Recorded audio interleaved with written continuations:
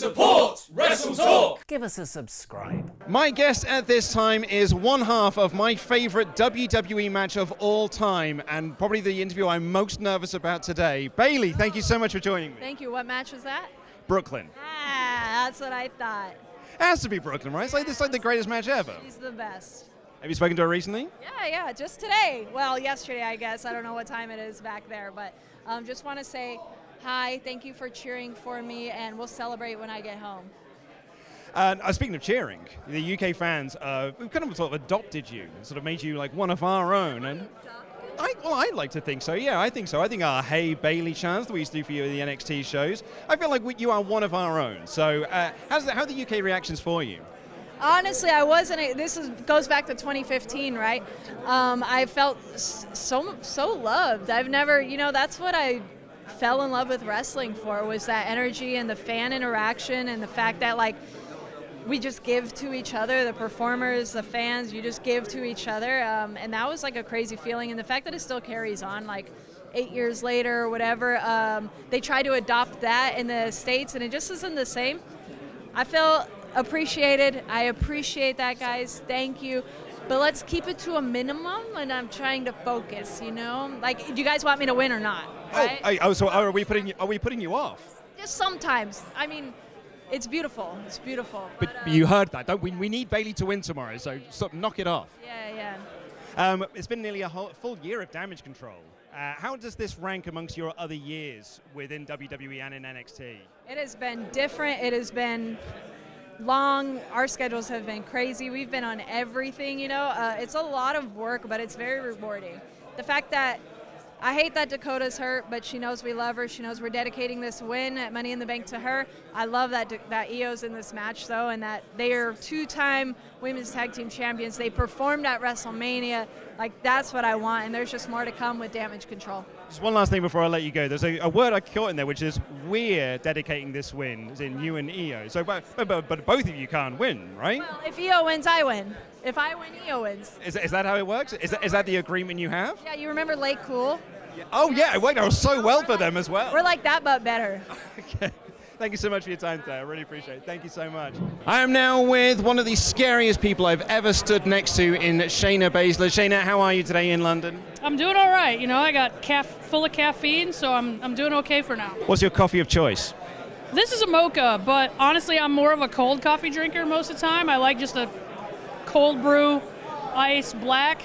But this is, I don't know, there's a fancy machine. I just push the button that looked familiar. I'm genuinely too terrified to try cold brew. I've been recommended it enough, but I'm too scared to try it. It's, it's, it's, it's usually pretty strong, so. Well, speaking of strong, um, how have you found it being tagging with Ronda? You've done a lot of tagging uh, in your time in WWE. You've won the tag titles before, but now, uh, how's that different doing it with Ronda? Uh, I think it's just a lot. Uh, I mean, Ronda and I have been friends for a decade, so I think just the chemistry we have, we can have conversations without talking. You know what I mean? We're, we're those type of friends. So I think um, as far as being on the same page, and I think you see it in Ronda's uh, ring work as well. She's a lot more comfortable in there now that we've um, partnered, and I, I think it's just the ease of how we've gelled together. Because you've done you've done singles, you won singles titles, you won tag titles. Do you prefer singles or tag wrestling? Ah, it's just two different. It's apples and oranges. You know what I mean? I, I like apples. I like oranges. Just depends. We got pretty close to doing the horsewomen horsewomen match of the, the WWE one, the UFC one. How close were we actually to making that a reality? Well, here's the thing. We, for 10 years, have been an actual team, actual friends, an actual stable.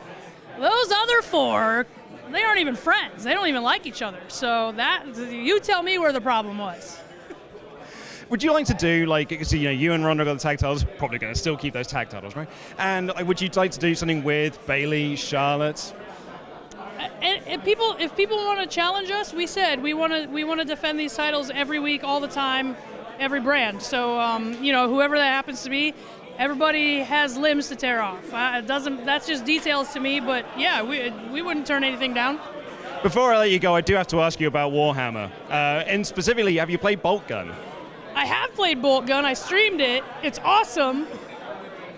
Download it. It's great. It's retro. It's great. It's awesome. That's my speed of Warhammer because I was a, an old, I was a 90s 40k player, but I haven't played in so long. Is that as if I was trying to get back into it now? What would be your recommendation for me to try and pick back up? Seriously, I haven't played it for like 20 plus years. 10th edition just released, so I would say if you're wanting to get back in, grab the Leviathan box set, start learning.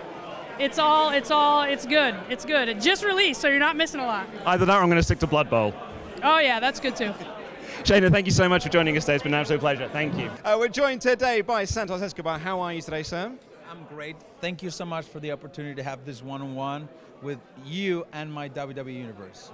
Well, I mean, speaking of which, uh, you are a sharply dressed man today. An think so? Oh, incredibly sharply dressed man. So much What so. do you guys think? Well, so much so, in fact, actually, as you were coming around, editor Adam, our, our camera up here, said, "Have you seen his shoes?" Do you want to talk us through this incredible shoe setup you've got here? I love them. These are Versace's, by the way. Are they? Do they how do they compare to mine? Well, it's not what you're wearing, it's how you wear Oh, okay. Uh, that's something my mom told me when I was a little kid and I wanted this specific shoes that I couldn't get. Uh, so I had these other shoes and she told me, son, the sooner you learn this, the better. It's not what you wear, it's how you wear it. And ever since, that's, uh, it's how I word things. So can you apply that to money in the bank? It's not how you hold the briefcase; it's what you're going to do with it. Precisely. I love I love the I love the, the logical metaphor that you created there because I was just saying before that London is a city I love. It's a city that begs to be walked. I haven't had time to do it. But tomorrow night and through the night you will see a man walking through London with a briefcase. He's gonna be a, a sharp, well-dressed man. And that'll be me. Not LA Knight.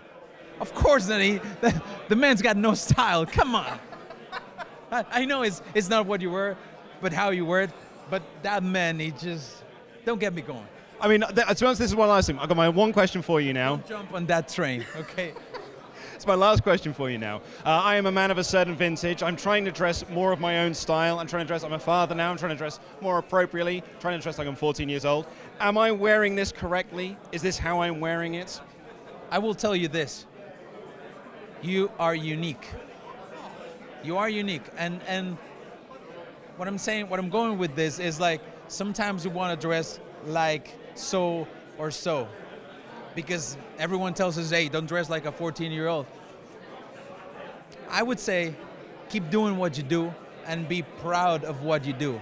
And guess what? If you do that, you will be LWO because that's what we do. We're proud of who we are and we're proud of, you know, what we represent. Do you hear that, Mum? It's okay for me to dress like a 14 year old. Respectfully, of course. Respectfully, of course. Thank- I love you, Mum. Thank you so much for joining us today. man, thanks. Pleasure so much. Thank you. And my guest at this time, Zelina Vega. How are you today? I'm great. How are you? I'm doing very well, thank you so much. No one ever asked me how I am. So, yeah, no one. So, thank you so much for asking me. It's very kind of you. How are you enjoying your time in London so far?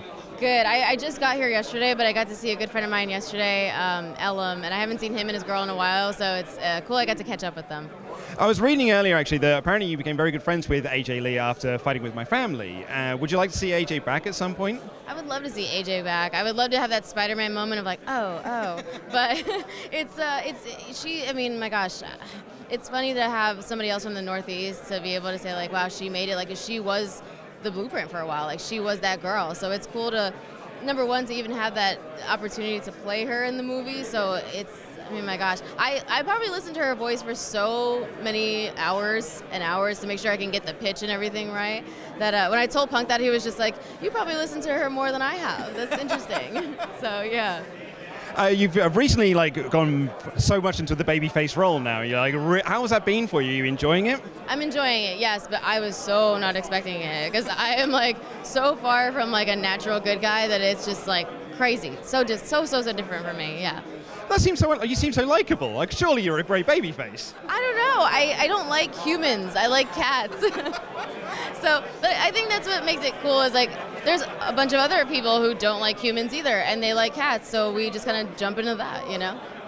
Uh, how was Puerto Rico? It must have been an incredible experience. Like, I know you must be asked this a lot, but like, surely it's a great time to relive, right? It, it really is, and I love it. I, anytime I get like it gets brought up, I get really happy about it because it's such a cherished moment. It's, that was my WrestleMania. You know, like that was it. One final question before you head off. Uh, have you been watching any Money in the Bank to prepare yourself? Do you have a favorite Money in the Bank match? So I don't have a favorite, but I have little people that like certain things I watch from certain people. Like I've been watching a lot of Jeff Hardy stuff because I'm like, if you're gonna do it, you gotta overdo it. So, you know, we're gonna delve into the craziness. Uh, you think crazy, you think him. You think like Rey Mysterio, and just being able to to have that wow moment. So that's what I'm looking forward to. Thank you so much for joining us there. I really appreciate it. Thank you.